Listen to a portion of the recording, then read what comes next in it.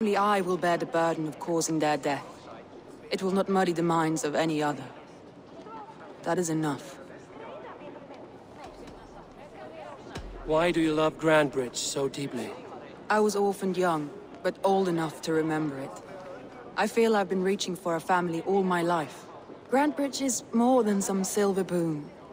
She's a place for me to build that family. For anyone who needs one. Wanderers, smugglers, and craftsmen.